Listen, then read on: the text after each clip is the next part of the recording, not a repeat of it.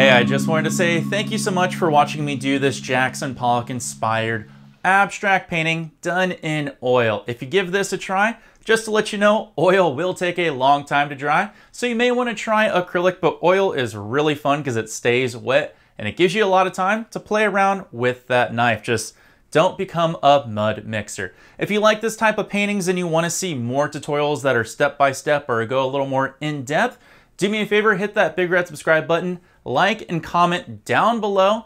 But until next time, you can check out my other abstract painting over here to the side. It's a fun one, it's 3D, and it really will pop off that canvas. Until next time, my friends, take care, and of course, peace!